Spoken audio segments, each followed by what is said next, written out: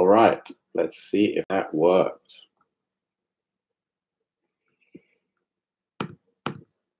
Amazing.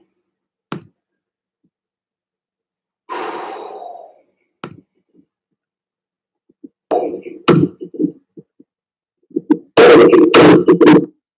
one, two, one, two. I think we may have liftoff.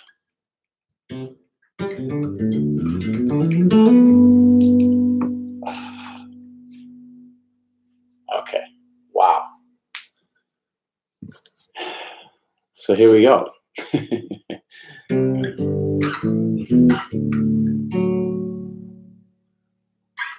Six minutes of messing around, and we can we can get into into the stream. Coffee drinkers, YouTubers, I hope you have your questions ready.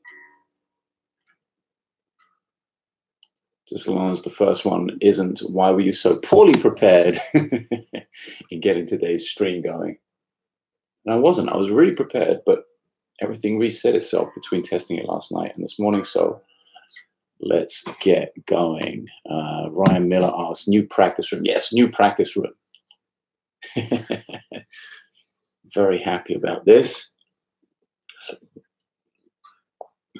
All right. So questions. Let's get going. We have just under an hour. Okay, bass guitar hangout asks, what scale would you use over a C7 flat 10? There's no such thing as a C7 flat 10. That would probably be the first thing. Uh, there's no such thing as a flat 10. A flat 10 is uh, is uh, is uh, if you think of a tenth, here's a tenth, here's C, that's a tenth, root and a tenth. Tenth is the third, just up an octave. So flat tenth, uh, not that there is anything called a flat tenth, it's just a minor third. So C7, uh, maybe you're thinking of a C7 sharp 9, which is that sound, but you never call it flat 10. You call it a sharp 9. And right there, I was just playing some blues stuff.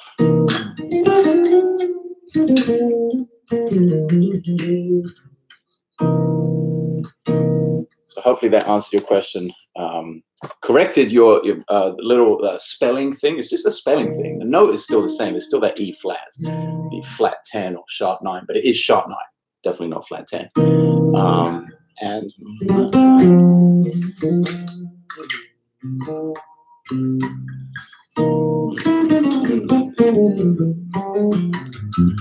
Wow, I'm still getting warmed up here as well. But it, it you know, it's it, tough, tough question to answer in terms of like I don't think of there is a definitive scale to play over every uh, chord, even though you can open up a Berklee harmony book or harmony books in general, and, and they will tell you that this is the scale that goes with this chord. It depends what the function of the chord is to me. Um, is that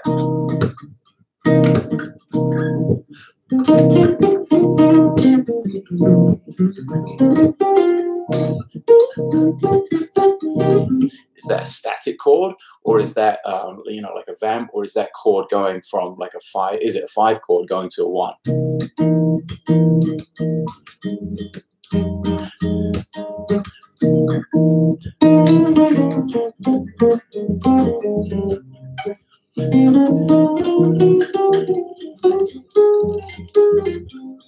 So really knowing the function of the chord is super important as to what um, to what to play over it. And I don't ever think of it in terms of the theory. I don't think, okay, here's C7. These are the notes that are available to me.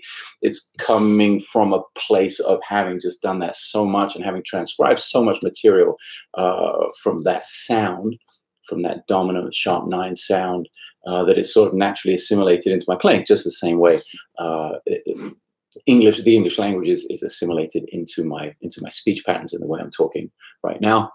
Still got some sleep in my eyes. Okay, chat stream's going to get out of control if I don't if I don't keep keep up on it. Let's get to some next questions. Um, uh, does that keyboard have weighted keys? Yes. This I love this thing. Uh, it's the Native Instruments Komplete Kontrol 88, and yes, it does have weighted keys. Feels pretty good for, for an electric keyboard. Um, uh, let's see. Okay, Rasmus Hartvig asks, how do you get a transcribed phrase into your own playing and master it? A uh, longtime fan and follower. Keep up the great work. Well, uh, Rasmus, great question. Thank you. Thank you for chiming in. Um, it's about repetition. I think that's the you know that, that's the key here repetition and then practicing relaxed and making sure that that phrase is something you actually want in your playing that's really important um, I probably don't have a copy of it. No, of course I don't. But the, the 251, the jazz um, jazz vocabulary for electric bass 251 book uh, is a lot about that. That, that. That's full of phrases that I transcribed and then as that book shows, put them into 12 keys and then use repetition in a big way uh, to assimilate them into my playing. I guess an example of that would be. Uh,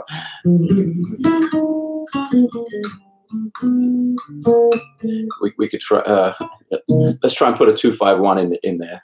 Get a little more volume. How's the volume on the bass? Can people hear it? Um, I'm not hearing comments about that, so maybe it's good. Um, mm-hmm. so let's let's try that two five one. I'll give you an example of how I would repeat the, the idea over and over again. Like a nice medium tempo 251, we'll do it in the key of C, mm-hmm. something like that. Let's put that in the looper. Mm-hmm.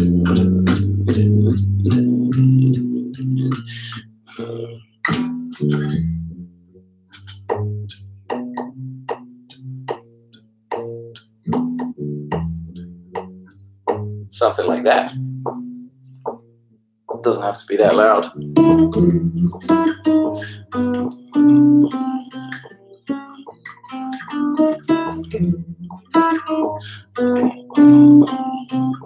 And actually, that wasn't the phrase I started out with, was it? That was the one.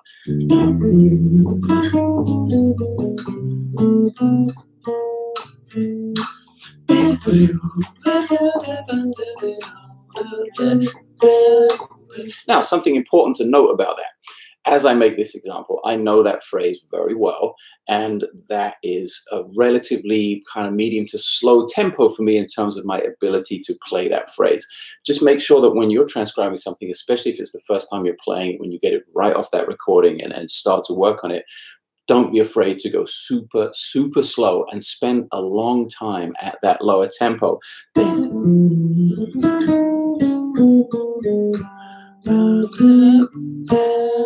I mean, really way down there. And then, you know, building it up. I, I, like to use the looper. It's a little bit more organic. I can play that bass line as you just heard and then play over that. It's as close to being in a realistic musical setting as I can get without a band in here. And it's certainly a little bit more organic and time feel orientated than just playing with the metronome on two and four. But that's the process. Ah, and wow, see how much faster that feels now? actually feels like a medium up tempo compared to that lower speed I gave you an example of just there.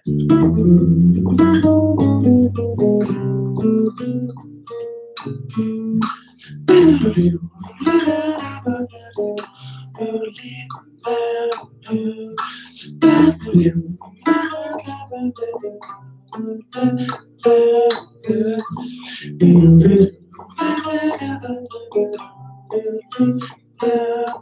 There are some subtle variations I'm adding into that as well. That's kind of the process. That's basically what the 251, the Jazz Vocabulary book, is all about. It's a ton of phrases like that uh, in all 12 keys, kind of going through uh, exactly how I work on them. And perhaps if we were to look at the 12 keys,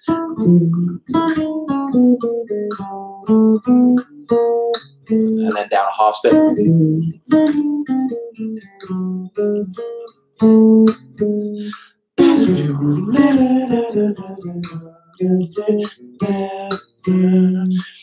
Half steps, whole steps, going around the cycle of fourths, many different ways, uh, many different ways to, to work on that.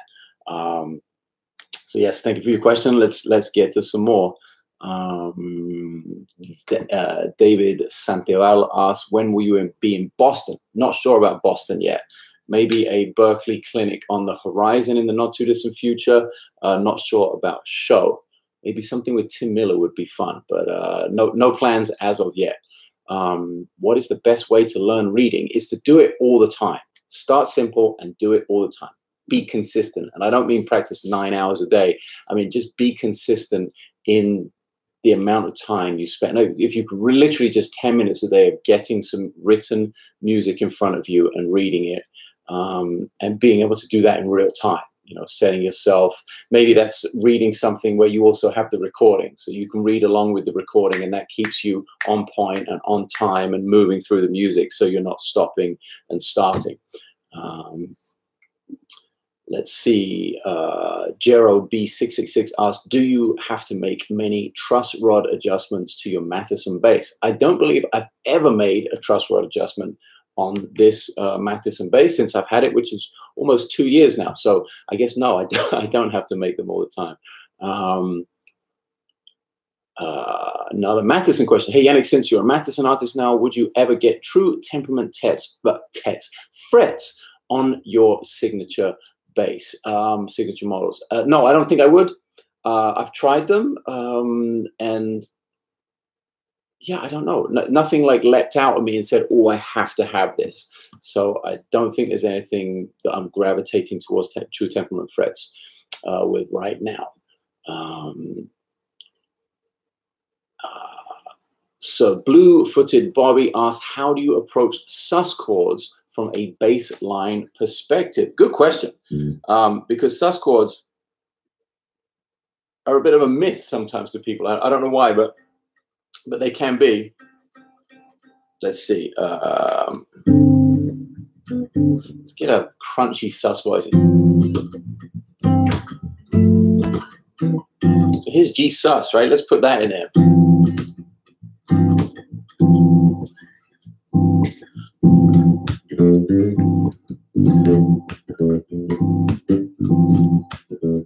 So check it out. If you were to look at the sort of uh, technically correct chord scale for a sus chord. If we got G sus here, it still has a major third, has a flat seven, so it's basically just a dominant chord where you're not featuring the major third in the in the spelling of the voicing. So I treat it just the same way I would pretty much a, a dominant chord just being aware that okay, if it's a sus chord, I'm not really going to pedal the, the, the the major third down low too much. But the the basic kind of uh, approach I use is to treat it like a dominant chord because that's exactly what it is, and that's how uh, that's how a sus chord functions for the most part. Um, uh, let's see. How do you practice solo? I really wonder. I'm not sure if you're asking me how do I practice soloing or how do I practice playing solo bass. But either way, it doesn't matter. Um, I approach both things pretty much in, in the same way. I would say I approach them with as much consistency as I possibly can. So it doesn't matter really what I'm working on, what the content is. Uh, I want to make sure I'm nice and relaxed that my posture is good, my breathing is good, nothing is like the, the bent wrist on the plucking hand, big no no. I like, you know, guys, I know, you know, ah, you guys know I like to keep the wrist straight and nice and relaxed. Same thing with the fretting hand. Strap is taking away most of the pressure of the bass, and I'm very relaxed when I play.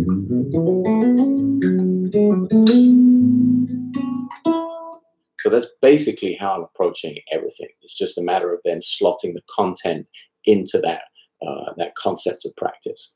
Um, okay, somebody's asking me to jam over some Latin music, maybe not this early in the morning. Um, okay, Luis Calvo Asensio is asking, do you think the Noble preamp is worth it for the home studio to add a little tube sound to the tone hammer? Yeah, I definitely, I, I love the Noble preamp and uh, it does exactly that. It adds some tube sound, some warmth to the sound, um, and not just for the home studio, but I will take that preamp when I go. Uh, not on the road because it's quite delicate. I never normally take that on tour because I, I, don't want to mess it up. It's, um, but I will take it to the studio, and I've used it on my records and on other people's records. Gives a, a really nice little warm tube sound to to the to the setup. Um, uh, let's see. Hi, I used to love playing bass, but the last six months or so, I don't even want to pick it up. Any tips for getting the desire to play back? Uh, yeah, that's awesome. Well, it's it's awesome that you're aware of it. I think that's half the battle right there. So, um, and I hope by being aware of it that you're not forcing it, that you're not like making yourself pick it up every day, because uh, I think that's that's the worst.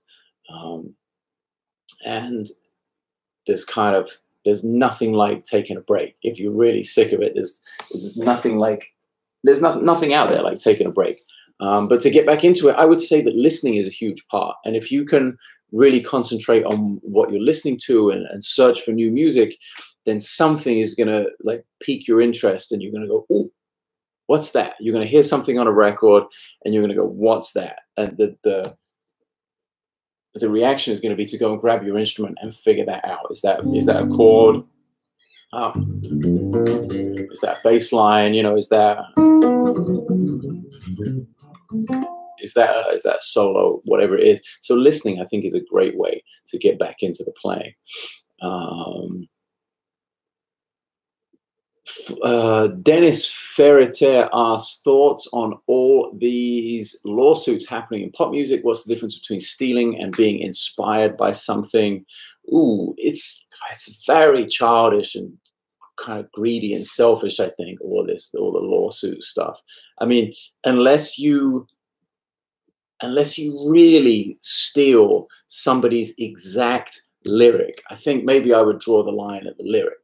You know, if I if I if I went out there and wrote a song like uh, Seven Days was all she wrote, like if I really like took Sting's exact lyrics and and wrote a song out of it, I think that would be pretty ridiculous because that is something you know quite personal to him and unique and something that really hasn't been done before.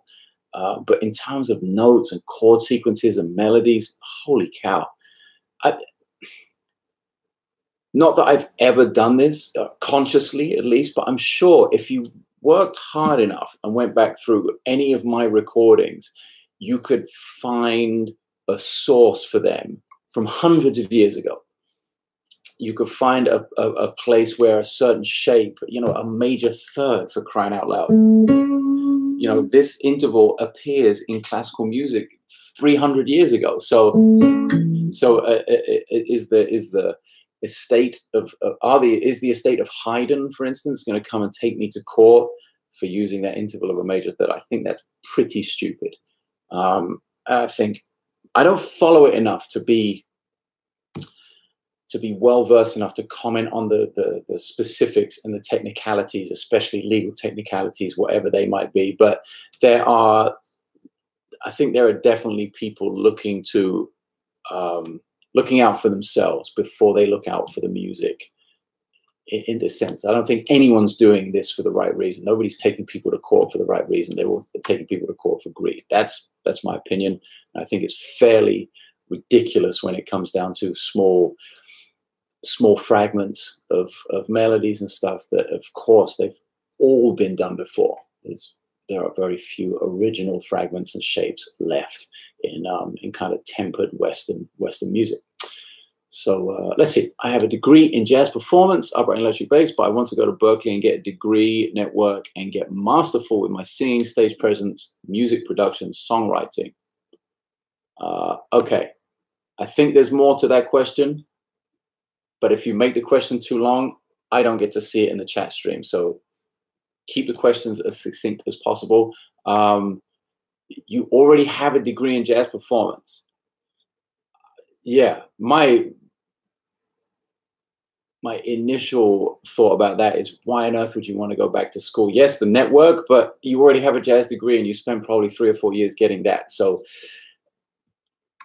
that should have kind of been the network time. And if you really want to network and meet people uh, that are going to be of um, like mind and, motivated and uh, where you can invest in your community and be of use to each other, I would find out geographically where you want to live and what makes sense for the music you want to play and go there and forget about school.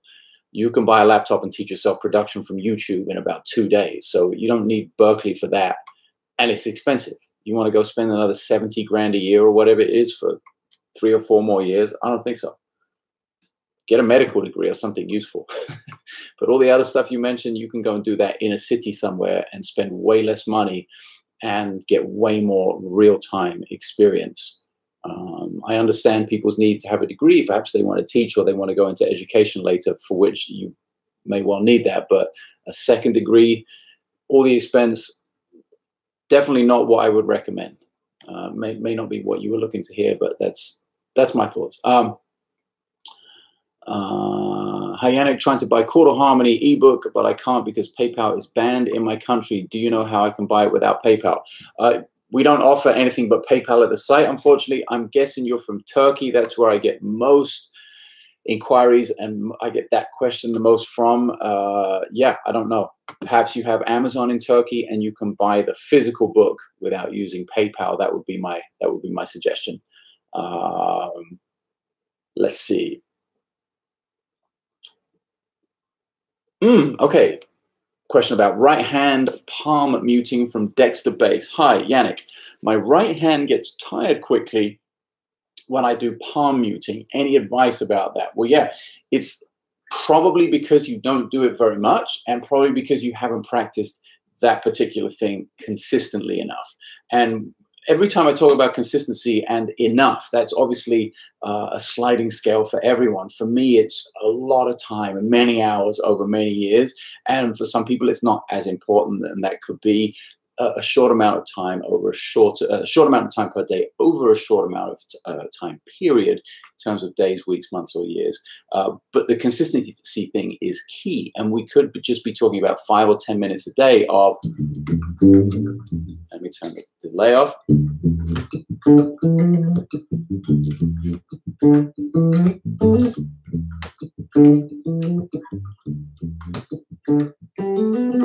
It, it, could be. I'm just trying to find something really simple to repeat, and and to and, and something I could just throw into my practice routine. It might not even be as many notes as that. Just with the with the thumb, perhaps to start out. And there are some dead notes and some ghost notes. I'm using uh, my middle finger for. Um, I've seen some people using the first finger when it comes to like that when you when you're playing the higher notes if you're palm muting and your hand is covering you know uh, kind of parallel with the bridge here for anyone who's not familiar with palm muting I've seen some people using their first finger to me it makes way more sense to use the, the, the middle finger um, it's a little bit longer you get more reach uh, it's definitely more comfortable for me that might differ for everyone of course but so whether you're just working on the thumb, uh, just simply down with a simple bass line that's palm muted.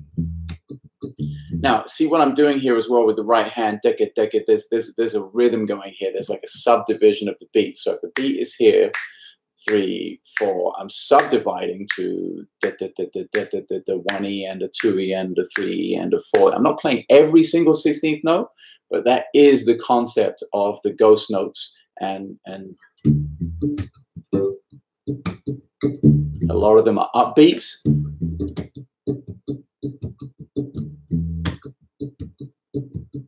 One, two, three, four, one, two, three, four, one, two, three, four, one, two, three, four. And some of some of them are with the palm into the strings. Uh, and I'm thinking about it too much to explain it and not playing in time.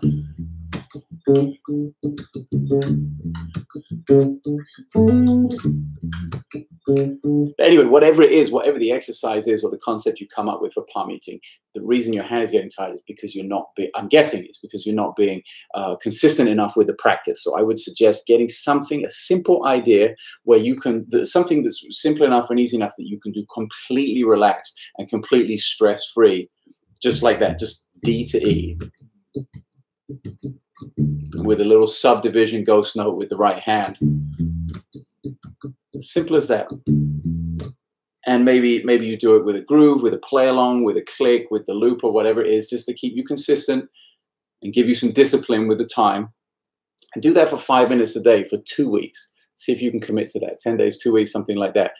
You'll be amazed at the difference in stamina uh, you'll have in terms of the right hand, in terms of palm muting. Um, I know there are a lot more questions, and I'm going kind of slow here. I'm trying to get to as many as possible. Um, uh, let's see. Where did we leave off? Oops, oops, oops, oops, oops, oops. Wow. Where did we leave off? wow, there are so many here. Um, okay. How do you balance what you play with various drummers uh, with different styles? Do you change what you play to suit other musicians? Um, yeah, to a certain extent, of course, I change what I play um, to to help fit in with a style or a genre or with a specific drummer. I've just been in Chicago, for instance, playing with four very different drummers, so that's fresh in my brain.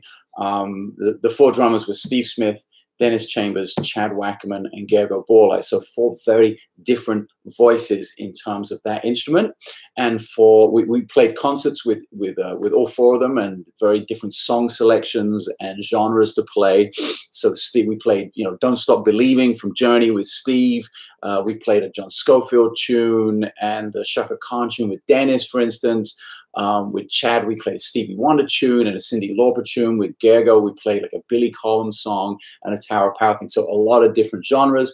Uh, there are certain sonic things, you know, when we were playing What is Hip, for instance.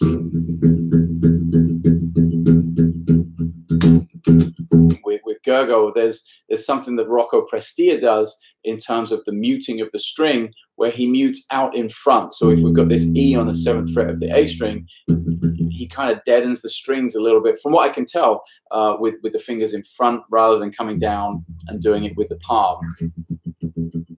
And you get this really attacking and, and solid bass line, as you can hear on on any version of What Is Hip that he's playing. So yes, there are certain subtleties that I will change. I'm not about to change uh, my voice and who I am as a musician. There's nothing extreme like that. But yes, I'm making adjustments um, as I go when I when I play with different drummers. Um, there are some questions in here which would take hours and hours and hours to answer. I'm not ignoring them, uh, but they are kind of impossible. Uh, John Muir asked, can you talk about chordal improvisation? That's pretty huge. I would say the best catalyst for chordal improvisation is a good melodic sense. If you have a great melody, then the chords will come underneath. Um, it's like...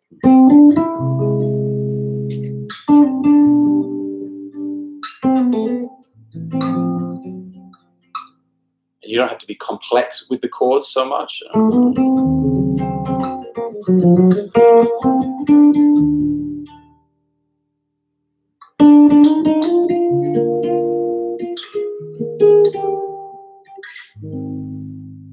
But a strong melody will really help um, make your chordal playing very effective.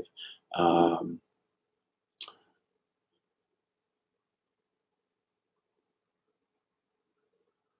Okay, more questions. Uh,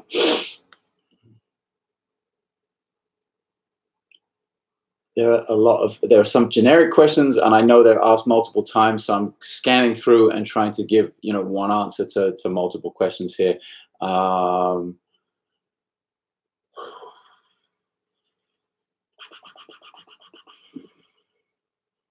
am i planning on playing my new record live? It would be amazing. Um, as of yet no dates, but I keep working on it and we'll see what happens. Um, what is the string spacing on this bass? I believe it's 16 and a half or 17 millimeters for the string spacing. Um, uh, can you tell how uh, excited Chelsea is about the wedding or just can't put it into words? Uh, a little bit of both, I think.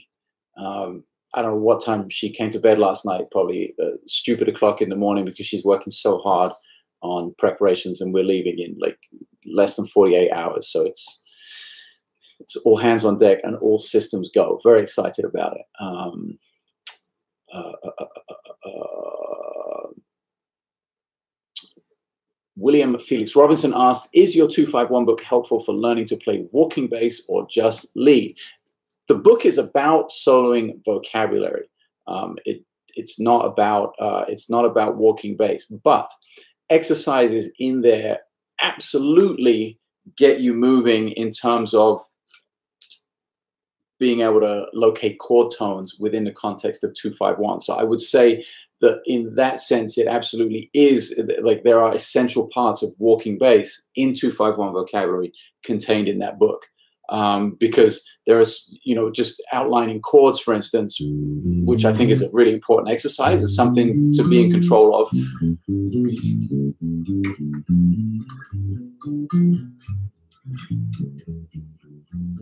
Just patterns of one, three, five, seven, literally from the root, one, three, five, seven, one, three, five, seven. Uh, and then all different combinations of that. So three, let's go three, one, five, seven, three, one, five, seven, three, one, five, seven, three, one, five, seven. Uh, let's take another one, seven, one, three, five, seven, one, three, five, seven, one, three, five seven one three five seven one etc etc there are lots of exercises like that. So i would say in that sense it's very useful to have that vocabulary under your fingers.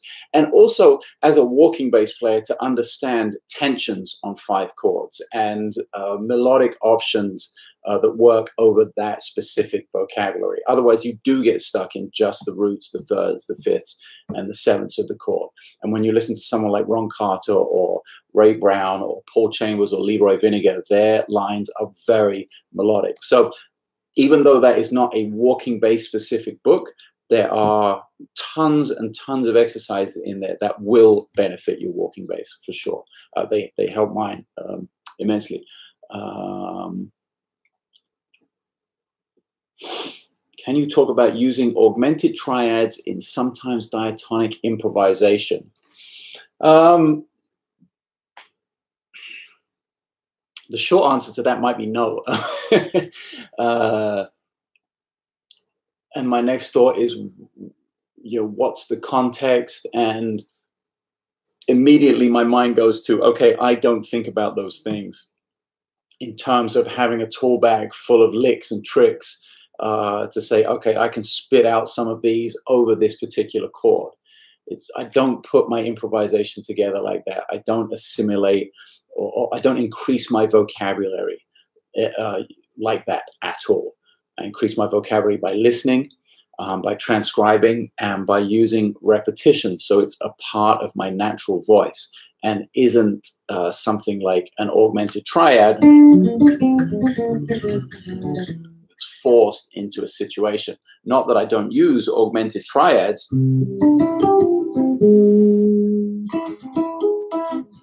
There's one right there, and I'm playing. That's just C. We're in C major, C major here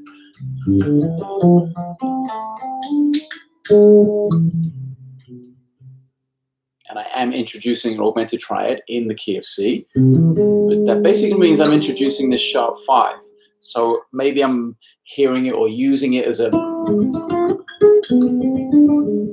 as an augmented triad in places, but really it's about that little bit of tension I get from the sharp five. Um,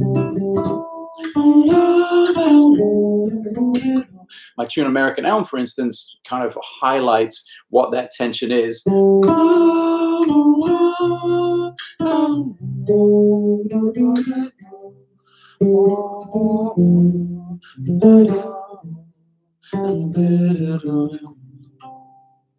And it's quite subtle. Um, and to me, it hints at there was a question uh, earlier on in the stream. Uh, I knew we would get to something similar, so I want to get this in there as well. There was a question asking about it, could, could I explain how altered tensions work on a dominant chord? So there's there's a flat nine on a G7 on a five chord, or a sharp five on the one, the C. So. Uh, those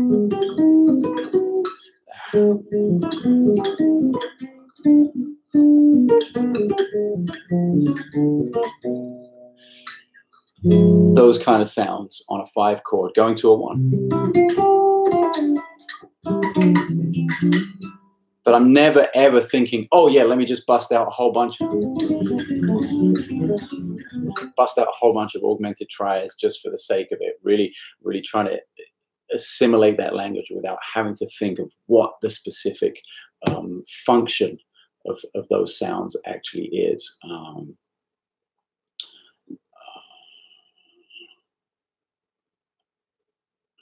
let's see here. Um,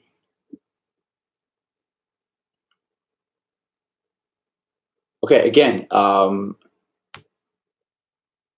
question here. 251 how often do you play scales rather than arpeggios? Again that question shouldn't be asking this question i don't think. I think that's you want to you, want to maybe think about the question you're asking. And i don't think that question is the way it, it, puts you on the path to get where you ultimately want to be. Um, uh, this person says i feel like i'm hitting wrong notes if i play the whole scale rather than arpeggios it doesn't sound clean for me. Yeah, because a scalistic and arpeggiated approach to improvising is uh, is kind of bullshit, and it's what uh, a lot of books and theory uh, advocates and, and, the theoretical approach will teach you, but it won't teach you anything about music. It won't teach you anything about phrasing, uh, about melody, um, about what it is to have the natural ability to improvise as a musician, regardless of whether you play the bass or, or what instrument it is. And the approach to that is by listening exactly the way we listen to music as uh, exactly the way we listen to speech and to language as infants. We were not handed a book and told, hey, these are all the words, this is the alphabet, and you put them all together and out comes the English language or whatever your first language is. Of course we weren't.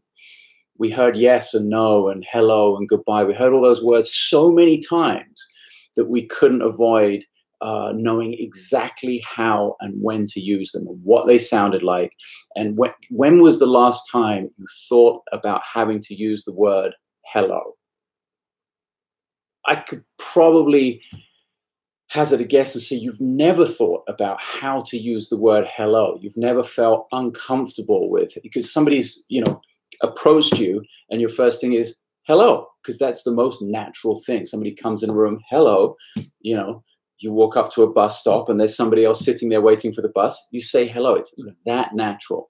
So a scale or an arpeggio, a technical function of harmony, of, of the music, of the theory of music, should be that natural in the way you play it.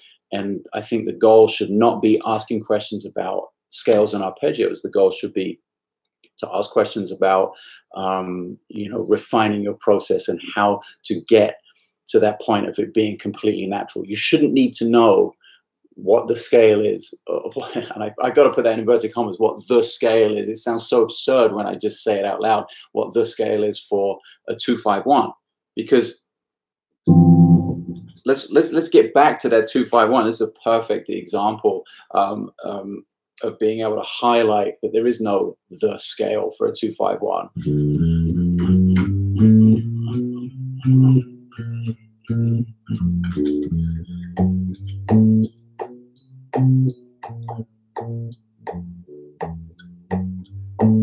What? We're in the key of C here.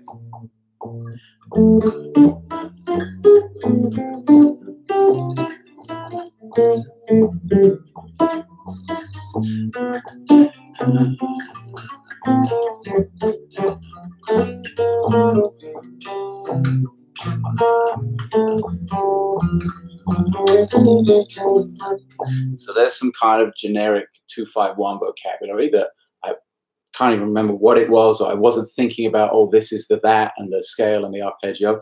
And then let's make an example of there really is no the scale for any of the chords because I'll now force, just to make an example, something that technically is so wrong you know, that you wouldn't find in any theory books at Berklee or North Texas State or anything like this, or available with Hal Leonard. Like, I, I doubt there are many theory books available from Hal Leonard or Chuck Sher that tell you that B major is a great scale to play over a G7 chord because everyone will be freaking out that there's an F sharp and an F natural in the chord scale, for instance. But holy shit, when you use it the right way, it can it can sound really hip. And the only way you get to the right way is by making it your way. It has to be right to you. And the repetition of doing that or hearing someone you really like do that in, that context and then repeating it, getting it into your, it's, it's like having an idea or a philosophy, getting that into your train of thought and then finding your way to express it. So let's let's look at that. Let's really force right now, just for the sake of making an example about there is no right scale. Let's force B major over the G7 somehow. Um, to feel a little unnatural, but I'll try and make it feel as natural as possible. And we'll go in and out, inside, outside, inside, outside. So some things will sound super clean and like right in the center, and some things are going to sound a little, little crunchy.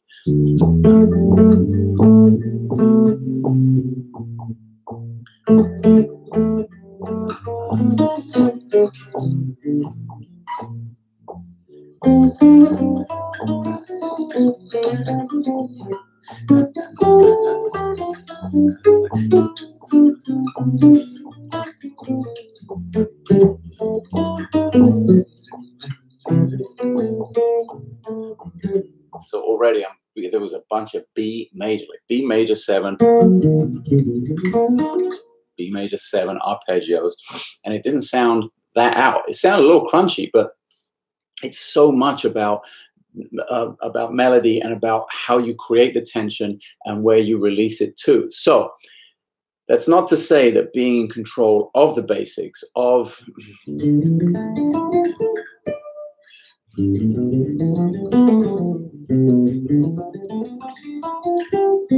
of really playing diatonically and inside the chord changes. That's there's not to say there's no validity in that. Absolutely, you should be in control of the whole range of sounds. Uh, but if you want to get away from like the notes sounding wrong, as you said, um, when when you play, and you really got to concentrate on listening, and you got to concentrate on being immersed in the music that you want to play, that you love, and and and the versions of that music that really inspire you. You're going to be learning the most and retaining the most amount of information when you're working on music that inspires you. Long answer to a short question, and we are fast running. Wow, this went by really quick but I'm going to get to as many of these as possible. Um, AK Music Basement asks, how much cost you? How much? How much cost you for there? How much did your Fodera cost? Way too much. That's why one of the reasons I switched to Mattison. Um, does your bass have a zero fret? Yes, it does. Zero fret, right there. That's the first fret. That's F. That's E. Look at that. Zero fret. Um, is your bass strung B to G or E to C? It is strung E to C. Uh, am I planning to come to Norway? Would love to come to Norway again. Always a lot of fun. No plans right now. Um, how would you suggest breaking down a two or three hour practice session? Wow. First of all, congratulations if you have two or three hours to practice. That's beautiful. Um, make sure you take a break at least once an hour, I would say. I find myself doing the most damage mentally or physically to myself if I just plow through and don't take any breaks. So the older I have become, or the older I get, the more in tune with taking a break I've been able to uh, become. Uh, but in terms of the content, that's that's all on you and necessity and what's inspiring you. All of those things, I can't I can't really tell you that. Um, uh, when and how can I buy the double cut triple P signature bass? Um, probably early next year, I would say. We're trying to figure out the CNC uh, production side of things, not only that bass, but this bass as well. Um, so I'm hoping early 2020 we'll be able to um, present that to you guys, the new Mattisons. Uh, where is the baby elephant? Baby elephant is right down here on the floor with my pedals. Uh, um,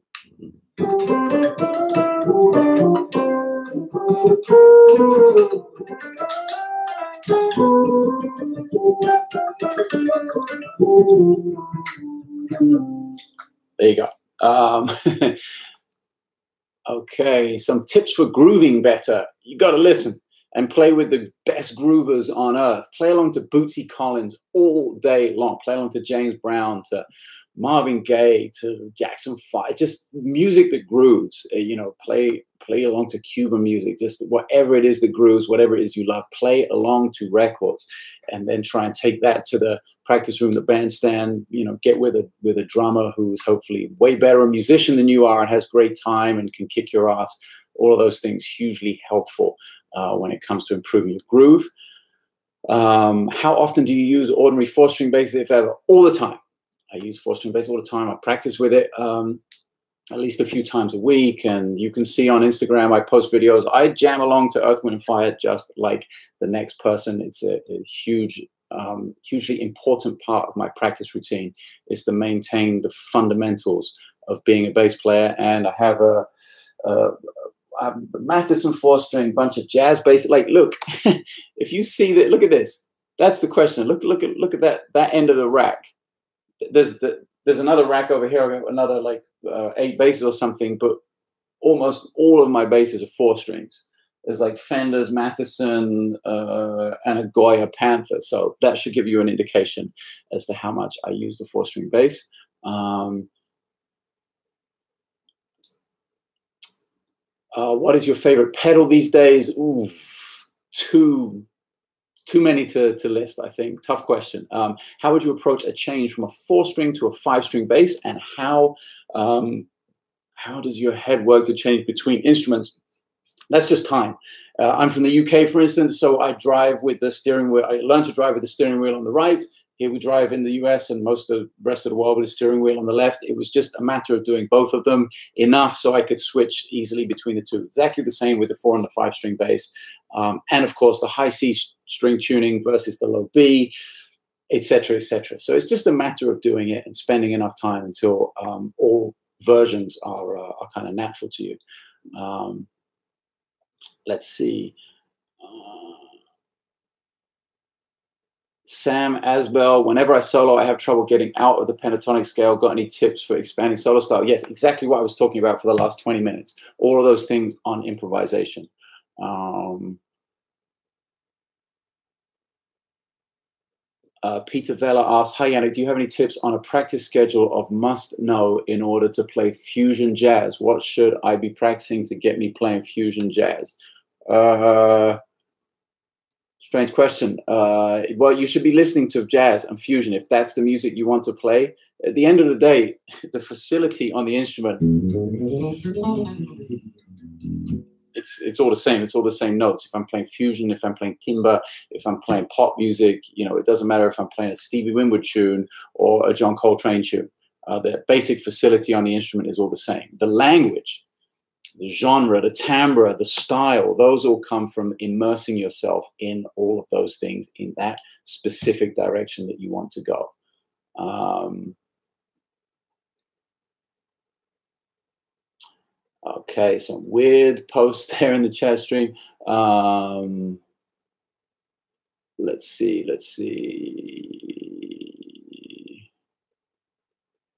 How do you record bass and video to sync up?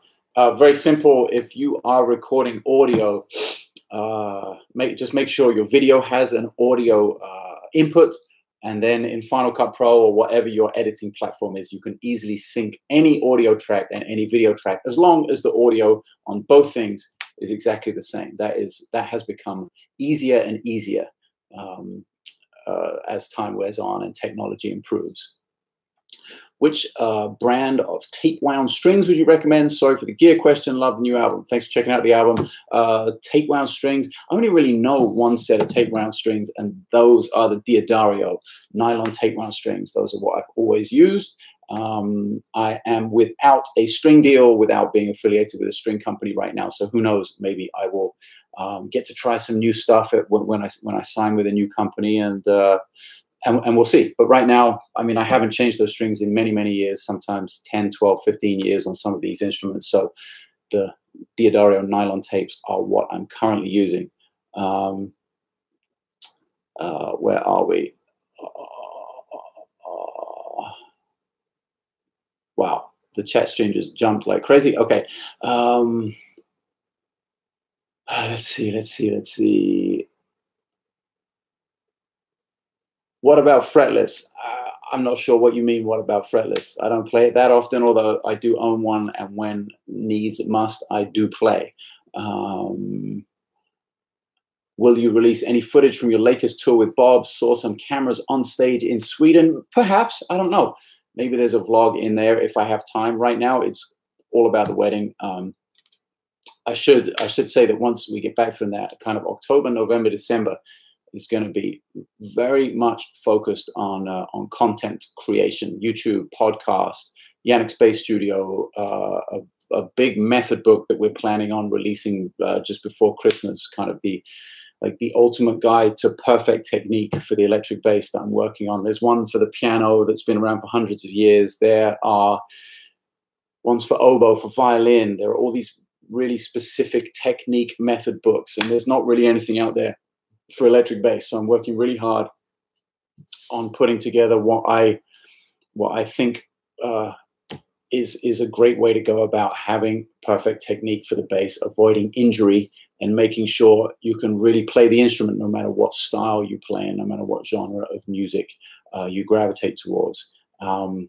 and Alejandra Fung asked, "Do you have any hand injuries, and how did you overcome it?" I didn't. I came from a classical background from the guitar and was taught at a very young age how to practice well and how to play relaxed and posture and all of those things. So that is definitely one of the things I want to translate into this book about bass technique. Um, and I think that'll be kind of super useful for people who I, it's a really big problem, you know, tendonitis and carpal tunnel and just injuries from overplaying and playing the wrong way and this bent wrist with the plucking hand and all this tension in the shoulder. So really going to work hard on getting rid of all of that in people's playing. Um,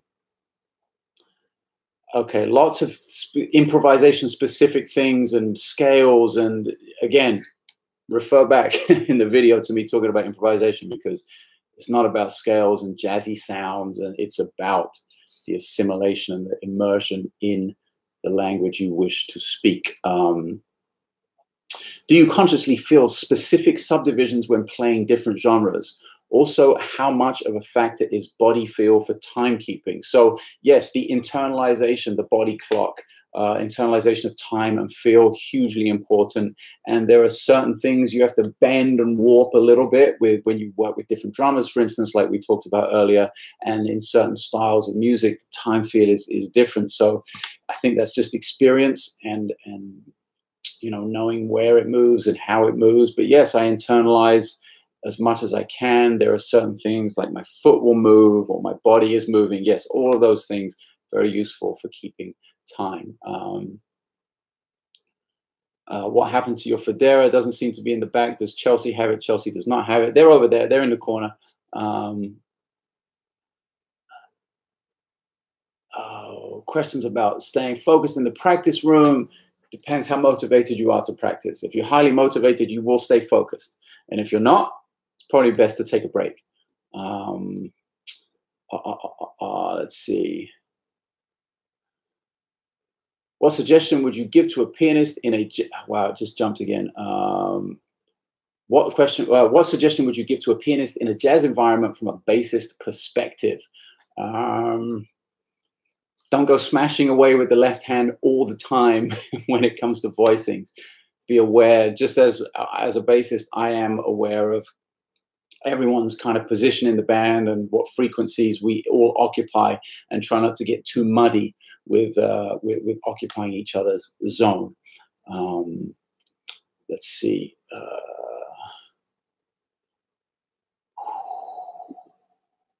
Hi Janek, hope you're well. I keep playing the exercises for speed and groove. Not sure those things are that connected, but I didn't get any progress. It looks and feels right. Can you explain why that might be happening? If you're not seeing progress, in your speed. Not that speed should ever be a, um, a goal, I don't think, um, unless you are really have to do something that is technically uh, demanding and you, you need to do that for someone else's music or for a performance or a tour or something. If you're not seeing process, uh, progress, then you're not practicing consistently. That would be my guess. Um, and you're not practicing slow enough. Um, if you if you don't have that together at slow tempo if you're not starting out your practice session of 45 50 60 bpm somewhere around there and really having the discipline to stay there for quite some time i mean weeks or months that's why you're not seeing progress it's a little bit to do with impatience a little bit to do with ego probably and a little bit to do with not being completely honest with where you're at and where your technique is actually at uh, rather than where you think it's at. And re recording your practice session can be a huge part of that because you can listen back and be really critical, just as you would to any kind of music you listen to, love, hate, whatever. And you can be just as critical to your own music by recording your practice sessions and listening back. Jay, Jay Rajwan, hey man, um, Janek, what are some suggestions for musicians to build a network outside of jam sessions and online musicians posting boards? Man, you got to get out there. Depends where you live. Uh, you know, today there's sort of no excuse for not being able to connect with other people. I think if you work the channels, you know the social media channels and just media channels in general, all the channels, the personal channel. If you work all those channels in general, um, I, I think I think you're in pretty good shape. For me, um, it's such a point in my career where that's not a, a high priority going out and networking, and I'm kind of saying no more than I'm saying yes to things. So right now, I'm not really in that frame of mind. Um, and I, I got to say, I did most of my networking in the being at Berklee uh, in the early days, going to school, and then being in New York before I really got busy with gigs. So it's a tough question, and it, it, I think geographical location plays a plays a huge role in that. Um, we are past 10 o'clock. We are over time, but I'm going to try and crush through these last questions. So guys, stop posting questions, and I will get get through these last ones. Um, let's see. Okay, okay, okay, okay, okay, okay. I'm going to go quick here. Um, does having the bass on your right leg give you arm ache when fretting low pitched notes? Uh, no. I guess that's the quick and easy way to answer that. Um, Maurice Klaus asks, "Have you found a new home for strings?" No, we just talked about that. Uh, no, no string company yet. Um, what's the chord sequence on American Elm? You should go and transcribe that. You shouldn't need me to tell you that. It's all diatonic. It's all in the key of C. Uh, take it slow. Um, are there too many bass channels on YouTube? Is the genre becoming oversaturated? Uh, only you can tell me that. Um, I got to say, I don't pay attention to bass channels or whatever those are. I, you know, it's enough of a full-time job maintaining what I do when it comes to the internet. So my capacity to be aware of like all the other people who are working in a similar thing. No, I, I, I get more interaction and and feedback than I can possibly handle on my own. So I'm guessing it's not oversaturated. That's uh, that's my experience anyway. Um, okay, okay, okay, okay. Here we go. Trying to get to as much of these as possible. Um, what do you think about chops drummers like Ronald Bruner, Mike Mitchell, Justin Tyson? I don't know who Justin Tyson is, and Justin Brown. Justin Brown. Didn't Justin Brown just move to LA? I mean, he has monster chops, but he also understands who Tony Williams is and has an amazing concept. Uh, I can't say I'm a fan of the other guys because it's not musical. Um, there's just no reason for me to listen to anything that those first two guys you mentioned do, uh, because it's it's uh, it's kind of like musical diarrhea a little bit, just the whole time. It's like monosyllabic. It's one dynamic level, and it's sort of a big fuck you with no no no respect for for what's going on with other people on the stage. So I, I, I really I have no time for it. I'm actually amazed that I know who, who, some of those people are. But Justin Brown, I saw recently. I thought he was ridiculous. I I, I loved the way he played. Um, let's see. Uh, do you play piano to strengthen the understanding of jazz harmony and theory? I play piano because I I love it. As a byproduct of playing piano, yeah, I get some more fancy voicings and uh, different uh, different view of harmony and uh, different timbres. So there are some benefits there, but I do it because I love it. Um, uh, let's see, medium or lightweight strings, heavy. I like heavy. I like a big sound, high action, big sound. Um,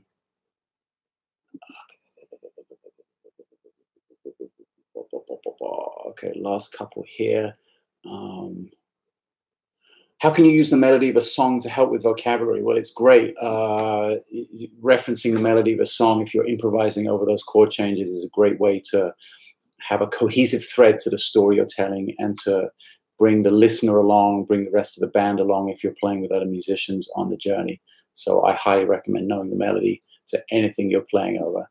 Um, any new courses in the works for Janek's Bass Studio? Absolutely, especially October, November, December. Like I said, recording a ton of material for that. I just launched, I should have said this right in the beginning. I just launched um, a, a thing that we're calling Once a Week, and it's kind of a super old business model from like a decade ago, but something I think may be useful for bass players because there's so much information out there. Like we were talking earlier on, is the market oversaturated? There is a lot of information out there.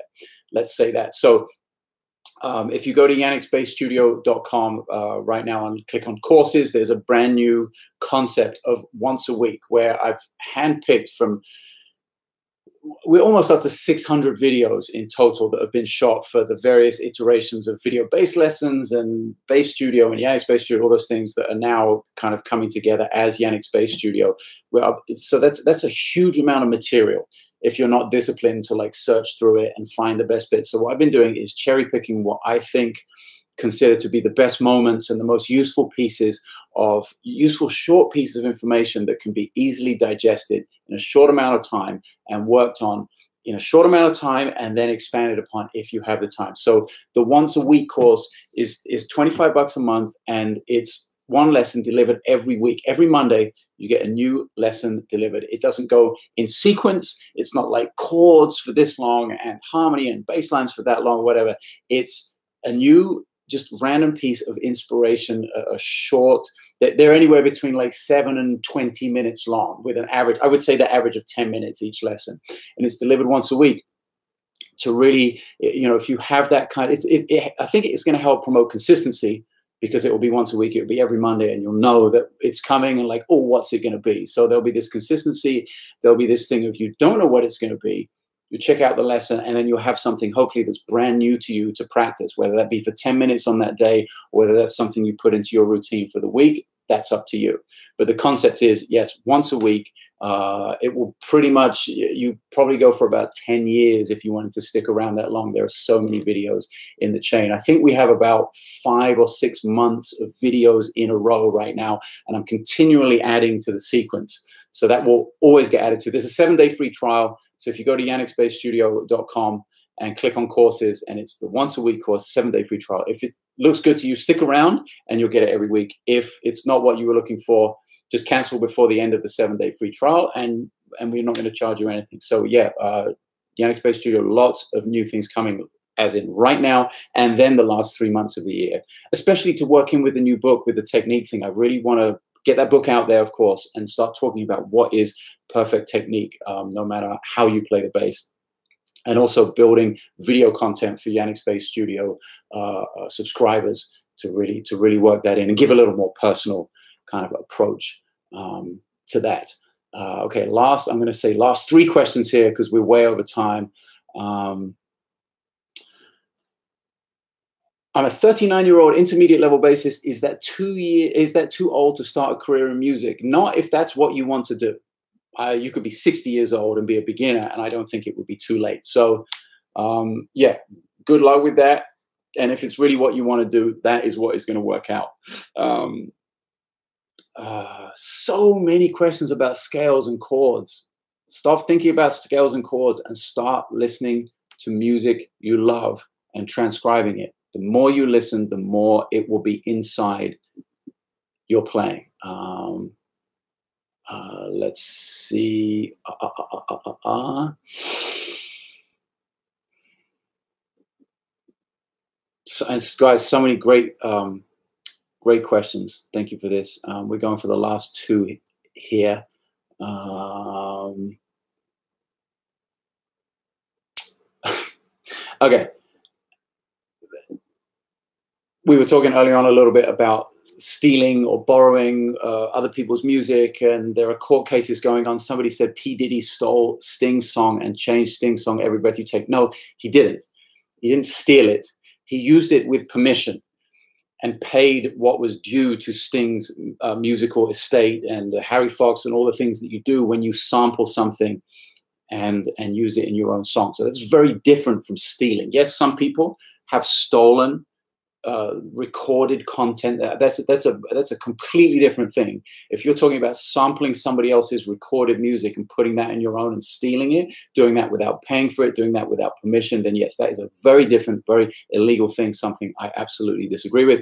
If somebody sampled one of my songs, like in the Union, for the new album, for, for instance, and then used it on like a hip hop song that sold millions of records, I'd be kind of pissed because that was my music. So that's something completely different. Uh, we're talking before about about the the use of musical phrases and shapes and how how crazy people are getting about that. So that's a very different thing. Okay, here we are. The very last question. What's it going to be? Um, here it is. It's the literally the last question in the in the stream, and it's from Cosmic Cosmic Evan, uh, you are managing so many projects. How do you do it? Um, do I use an app, lists, keep it in your head, project management, or planning? It's a great, great question. Um, let's let's be brutally honest. Uh, be really honest right up front. I do a pretty poor job.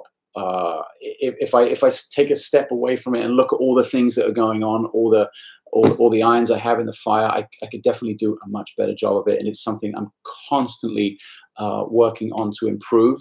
Not always getting better, but at least I'm conscious of it and I am trying to improve it. But okay, let's answer your question. How do I manage that? I'm insanely motivated to do what I want to do. So that's a huge help. I love doing what I do. Another huge help. When I get up in the morning, I'm like, okay, let's go. Let's let's get out of bed. Let's have that breakfast. Let's start the day right. Let's get to some practicing. Let's get to some physical exercise. Let's tackle the task at hand. Um, the prioritization of those uh, tasks isn't always on point. That's something I'm trying to improve. But the overall why, like the reason why I do it, is there, and that is because I love what I do, and I think by being positive about what I do um, and being honest about what I do, and that being the output, that being what people see, uh, that that being what happens, you know, on, online, on Instagram, on YouTube, uh, through my music, uh, you know, through any of the projects I'm involved with, I think that can have a positive effect on on other people, and I think that's a huge. That's a it's a it's, it's a huge um, what's the word? Now I'm losing, I'm completely losing my vocabulary. Having talked about vocabulary for an hour, I think it's hugely inspiring when you can have an effect on other people and make someone else's day go a little better. Hopefully, um, people watching this today got something out of it and are going to go away and, uh, and, and work on some stuff and, and, maybe change their lives or their playing in some small way. If that happens, that means uh, jo job well done for me. And I'm really, really happy to get up every day and do that if I can have a positive effect on other people's lives. That is huge. So that's uh, that that's how I do it. That's how I stay focused. That's how I keep so many projects kind of up in the air and being juggled.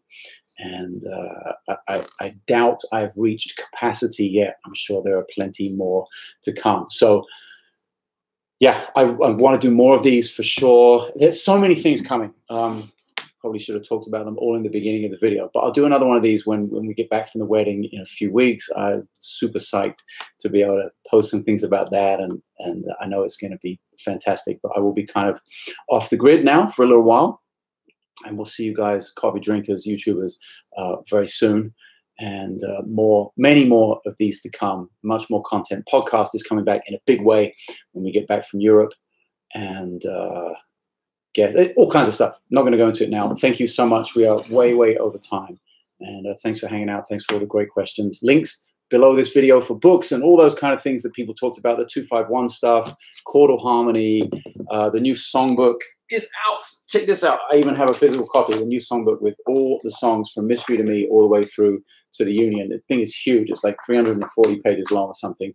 Uh, play alongs you're going to see some stuff on Instagram in the next couple of days about play alongs. Just did a, a, a bunch of play along stuff for the union, and they sound uh, amazing. I've been using them to practice, part of my practice routine. Um, so you're going to see some stuff coming up about that very soon. But until next time, thank you, uh, thank you guys for hanging out. Awesome way to start my day, and uh, I will see you guys very soon.